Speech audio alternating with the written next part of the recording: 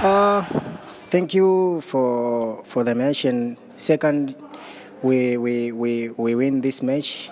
Now, alhamdulillah, now we focus for the next match against against. But we we are happy because we win. Now we're looking forward for the next match. That's it.